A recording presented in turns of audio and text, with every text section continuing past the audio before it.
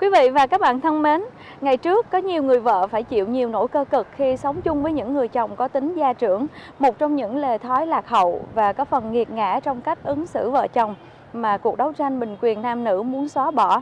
Những năm gần đây, trong gia đình Việt Nam, nhiều người chồng đã bỏ dần cách ứng xử lạc hậu ấy và vị trí của người vợ đã được nâng cao hơn rất nhiều. Họ có nhiều cơ hội để thể hiện vai trò làm chủ gia đình của mình. Song một vấn đề cũng nảy sinh ở đây là khi người vợ có nhiều cơ hội, có nhiều khả năng làm chủ, nắm quyền kinh tế trong gia đình thì lại muốn tỏ ra uy quyền của mình trong nhà. Và vô hình chung những người vợ ấy lại trở thành những người có tính gia trưởng, đây là một trong những nguyên nhân khởi phát của mọi nguy cơ rạn nứt của một số gia đình trẻ hiện nay và đó cũng chính là chủ đề mà gia đình và cuộc sống kỳ này muốn chia sẻ đến quý vị và các bạn. Và trước hết như thường lệ, mời quý vị và các bạn hãy cùng đến với một sống khỏe, sống vui.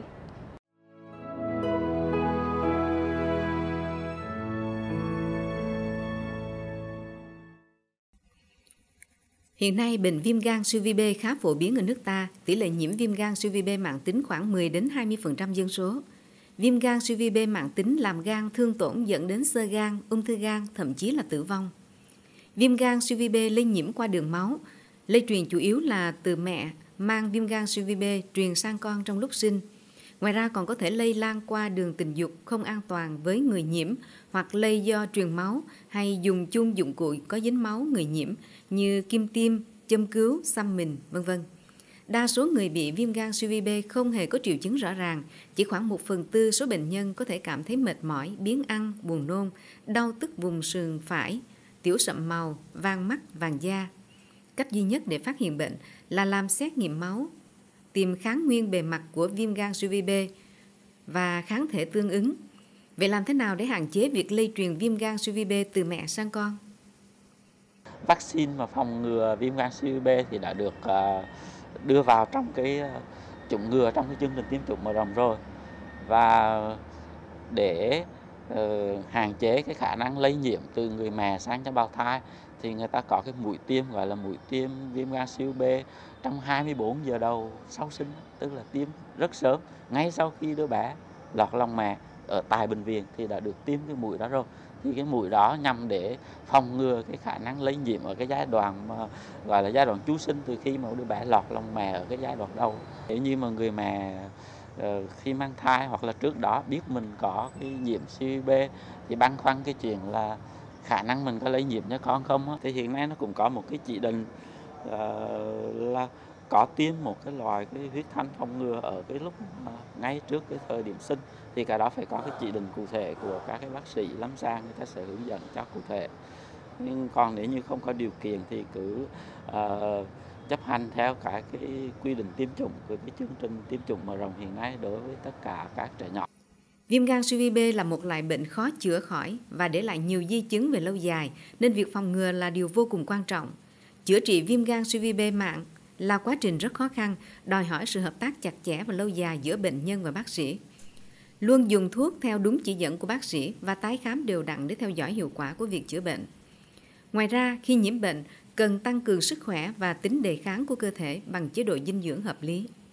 Là nhiều các cái chất mà chúng ta ăn uống hàng ngày thì cũng đều được chuyển hóa qua gan và trong số đó thì có nhiều thứ có thể gây độc cho gan nếu chúng ta dùng quá mức ví dụ như thường chúng ta hay dùng các cái loại uh, rượu bia rồi các thứ hay là các cái chỗ chế độ ăn mà mất cân bằng về mặt dinh dưỡng thì nó cũng gây uh, tích tụ ở trong gan ví dụ như ăn thừa nhiều uh, thừa cân hay ăn thừa nhiều chất béo có thể làm cho gan bị uh, uh, gọi là gọi gan nhiễm mỡ rồi có thể dẫn đến cái sơ gan sau này. Thì uh, hay là các cái loại thực phẩm không an toàn đặc biệt các cái ngũ cốc nó bị các cái loại nấm mốc thì nó có nhiều cái độc tố nó có thể gây độc cho gan. Vậy thì để đảm bảo cho một cái gan khỏe mạnh thì chúng ta tốt nhất là ăn uống cân bằng dinh dưỡng và đảm bảo cái vấn đề về an toàn vệ sinh thực phẩm.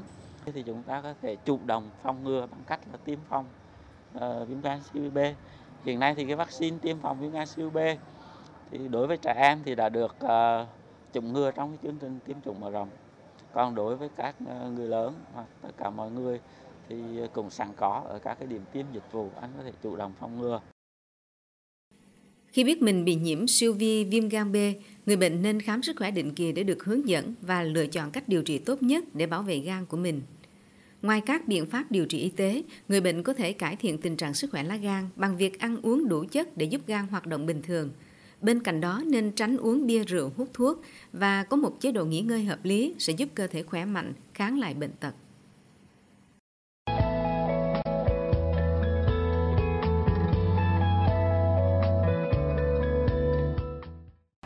Khán giả, từ bao đời nay thì vai trò và vị trí của người phụ nữ trong gia đình uh, luôn chiếm một vị thế rất là quan trọng. Và khi xã hội của chúng ta ngày càng phát triển thì vị trí và vai trò của người phụ nữ lại càng được khẳng định hơn. Có khi trong số họ lại là người chiếm ưu thế trong lĩnh vực tài chính, à, và họ có thể quyết định tất thảy mọi việc trong gia đình mà không cần hỏi đến ý kiến của người chồng, người vốn được lâu nay xem là trụ cột của gia đình. À, thậm chí có người còn cho mình cái quyền độc đoán có thể quyết định mọi chi tiêu trong gia đình, quản lý về thời gian, thậm chí là những mối quan hệ khác của người chồng. À, khi mà thực tế này xảy ra thì đối với một gia đình à, có thể xem là chuyện bình thường nhưng ở một số gia đình khác có khi lại là một ngòi nổ đang âm ỉ cháy và định điểm đó là sự rạn nứt à, trong cuộc sống hôn nhân gia đình À, cùng bàn về vấn đề này thì trong chương trình Gia đình và cuộc sống kỳ này chúng tôi đã có cuộc trao đổi với thạc sĩ Hoàng Thị Ngoan. À, thạc sĩ hiện đang là phó trưởng khoa khoa khoa học quản lý giáo dục của trường cao đẳng sư phạm Nha Trang tỉnh Khánh Hòa. À, thưa bà, à, trong cuộc sống thì đã có bao giờ à, bà gặp người phụ nữ à, cầm cương trong gia đình? Ý tôi muốn nói là tất thảy mọi quyết định này à, trong cuộc sống gia đình đều do người phụ nữ và nguyên nhân do đâu mà người chồng lại để cho người vợ quyết định mọi việc trong nhà? Một công việc mà vốn từ trước đến nay vẫn xem là vai trò của người đàn ông người trụ cột trong gia đình ạ. Và đa phần các, những cái gia đình trong Việt Nam chúng ta thì à, người chồng và người vợ đều có một vị trí phù hợp. Và chính cái vị trí phù hợp đó nó giúp cho họ xây dựng được một cái tổ ấm một tổ ấm hạnh phúc và hòa hợp. Và đó là một cái môi trường một cái điều kiện hết sức thuận lợi để cho mỗi thành viên trong gia đình đó phát triển một cách tốt nhất tuy nhiên bên cạnh đó thì cũng có những cái gia đình mà cái vị trí của người vợ của người chồng có cái sự khác biệt có một sự thay đổi. Đặc biệt là ở đây tôi muốn đề cập đến vị trí của người vợ.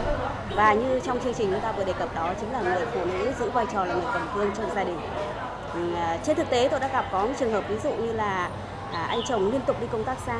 Vì vậy người vợ ở nhà thường xuyên là phải là người trực tiếp lên kế hoạch chi thu cho gia đình đó rồi sắp đặt tất cả công việc và giải quyết tất cả các công việc trong gia đình và đến khi mà anh này đã đi công tác về hưu rồi thì ờ, nó tạo thành một cái nếp một cái thói quen đó rồi và người phụ nữ cứ như thế làm cái công việc đó như vậy.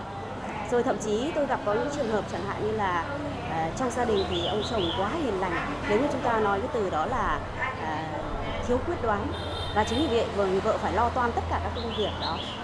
Chính vì thế nên chúng ta thấy rằng là từ, từ đó để chúng ta nhìn nhận rõ các cái nguyên nhân nó dẫn đến cái hiện tượng để người phụ nữ cầm cương trong gia đình thứ nhất là do trong cuộc sống, người ta thường xuyên phải làm những công việc như vậy và nó tạo thành một cái nếp, một cái thói quen. Đấy là một cái rất khó thay đổi. Cái thứ hai nữa, đó là do trong có những cái hoàn cảnh, người phụ nữ người ta phải trở thành người trụ cột chính trong gia đình và họ tự quyền quyết định tất cả mọi cái đó. Và một cái nguyên nhân thứ ba ở đây nữa chúng ta cũng đề cập đến, đó là có thể do cái ờ, từ phía người chồng, từ phía người chồng. Ví dụ như là quá hiền lành hoặc là ừ, không quyết đoán trong cuộc sống thì việc người chồng để cho người vợ độc đoán và tự đưa ra tất thảy mọi quyết định trong gia đình như thế, thì nó sẽ có ảnh hưởng như thế nào đến thái độ tâm lý của người chồng cũng như là việc giữ hòa khí trong gia đình ạ? À? khi người phụ nữ mà giữ cái vai trò là người cầm cương trong gia đình đó, thì sẽ dẫn đến người ta có những cái cách cư xử với người chồng ví dụ như là tự mình lên kế hoạch mà không thông qua ý kiến của chồng, đúng không rồi giám sát tất cả các mọi, giám sát mọi hoạt động của người chồng giám sát mọi hoạt động của chồng ví dụ giám sát về thời gian rảnh rỗi của người chồng này cả về quỹ thời gian này cả về tiền bạc này về cả về các mối quan hệ. Trong đó có cả quan hệ thân thiết quan hệ bạn bè giám sát hết. Và thậm chí có những người còn à, à, quản lý cả những cái công việc của người chồng trên cơ quan và tự mình ra quyết định những công việc cho người chồng đó nữa. Như vậy tất cả những cái cách cư xử đó của người vợ đối với người chồng dẫn đến cái việc đó là hình thành ở người chồng một cái tâm trạng đó là buồn bã, cô đơn, chán trường bởi vì anh ấy nghĩ rằng anh là người là không có một cái quá kém cỏi trong cuộc sống. Và từ cái tâm trạng buồn bã, cô đơn, chán trường đó thì anh này thường, những anh chồng này thường có một cái xu thế đó là thu mình lại, thu mình lại trước cuộc sống bất cần. Rồi ờ, không thích giao lưu, giao tiếp và quan hệ với mọi người xung quanh, kể cả những cái người thân trong gia đình.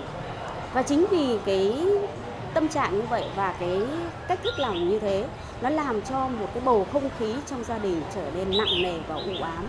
Và cái bầu không khí này nó ảnh hưởng rất lớn tới từng thành viên trong gia đình đó, nhất là cái cách cư xử của người mẹ đối với người cha như vậy.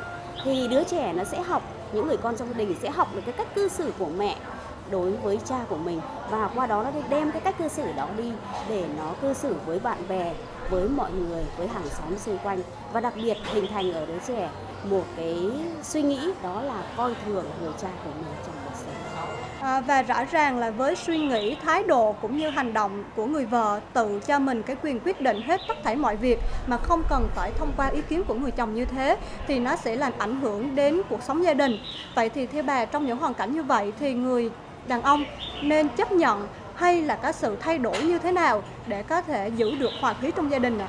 Theo tôi nghĩ rằng trong gia đình nếu như để giữ được hạnh phúc gia đình thì có lẽ người chồng phải trực tiếp đối diện với nó và tìm những cách thức tác động từ từ để làm thay đổi cái suy nghĩ, thay đổi hành động của người vợ để qua đó người vợ thấy được rằng người chồng trong gia đình có một vị trí hết sức quan trọng như thế nào.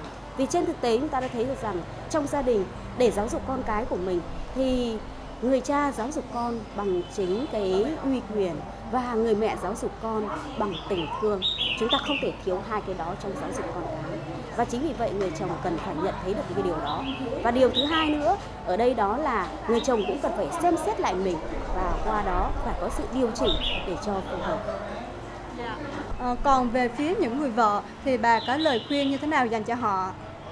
Đa phần các người vợ của chúng ta trong gia đình Việt Nam đều thấy được rằng cái việc vừa quyền làm chủ gia đình đó coi đó là một điều kiện thuận lợi để đi vào xây dựng tổ ấm, xây dựng gia đình mình chứ không phải để ra những cái uy quyền đối với những người khác. Và cái quan trọng hơn nữa để có thể làm tốt được cái vai trò của người vợ của mình thì người phụ nữ ở đây chúng ta phải luôn luôn song hành cùng với chồng con, luôn có sự chia sẻ, quan tâm đối với mọi người và đặc biệt luôn luôn phải tôn trọng lẫn nhau. Và chỉ khi chúng ta làm được điều đó thì chúng ta mới có thể xây dựng được một tổ ấm thực sự. Đấy là một cái mà chúng ta cần phải quan tâm. Và như vậy thì trong cuộc sống chúng ta thấy rằng tất cả những người phụ nữ chúng ta hãy luôn luôn làm đúng cái vị trí làm vợ của mình. Vị trí làm vợ của mình. Cái sự gia trưởng trong gia đình chúng ta cần phải loại bỏ ở bất cứ một thời đại nào hay ở một giới nào và đó là cái kẻ thù số một của hôn nhân của chúng ta. Chính vì vậy chúng ta luôn luôn phải lưu ý tới điều đó và luôn luôn phải cảnh giác. Vâng, thưa quý khán giả, trên thực tế hiện nay thì ngày càng có nhiều người phụ nữ giỏi giang và thành đạt và việc người phụ nữ chủ động về mặt tài chính không còn là chuyện hiếm. À, chuyện người nào là trụ cột trong gia đình nó không chỉ phụ thuộc vào vật chất mà đó là còn là những giá trị về tinh thần. Ờ, một người đàn ông không thể kiếm được nhiều tiền nhưng họ vẫn là trụ cột của gia đình. Nếu như họ chứng tỏ khả năng là nơi là chỗ dựa vững chắc cho gia đình mình. À, và người vợ dù có giỏi giang xinh đẹp đến đâu thì khi trở về nhà vẫn nên giữ đúng vai trò của một người vợ hiền và đảm đang.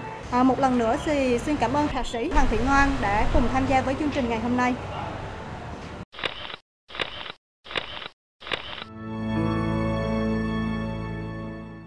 Tôi có giờ hiền ở trong sớm ai cũng đều khen. Biết lắng nghe lời chịu suy nghĩ chẳng kém một ai. Chọn tình nghĩa phu thê việc nhà thì khỏi chê. Ai ai cũng nề tôi rất yêu giờ mà chẳng ai thay thế được đâu. Mỗi tôi đi về vợ chồng tôi san sẻ cùng nhau. Bao chuyện buồn âu lo không còn là chuyện to. Sẽ không còn lo. Vợ của tôi không cũng khen xưng lấy vừa đôi. Được giờ ngoan được giờ lo. Sao mà siêu ca Khi đâu vậy ta? Vợ của tôi thương mình tôi lo mình tôi chỉ yêu mình tôi. Không ba hoa không đua đòi Luôn một lòng thi chung vì tôi. Được giờ cưng được giờ yêu. Là tôi có phước. Phải không Quý vị và các bạn thân mến, chương trình Gia đình và cuộc sống đến đây cũng xin nói lời chào tạm biệt. Cảm ơn sự quan tâm theo dõi của quý vị và các bạn. Rất mong nhận được những ý kiến đóng góp và chia sẻ từ quý vị. Mọi thư từ liên lạc xin gửi về địa chỉ chuyên mục Gia đình và cuộc sống Trung tâm truyền hình Việt Nam tại Phú Yên, số 81 Lê Trung Kiên, thành phố Tuy Hòa hoặc qua số điện thoại 0573 823 619. Và để xem lại chương trình, quý vị có thể truy cập vào trang web ở địa chỉ www.vtvphuyen.vn. Và bây giờ, xin chào tạm biệt và hẹn gặp lại. được giờ kinh được giờ yêu. Là tôi có phước. Phải không? Cưới được vợ hiền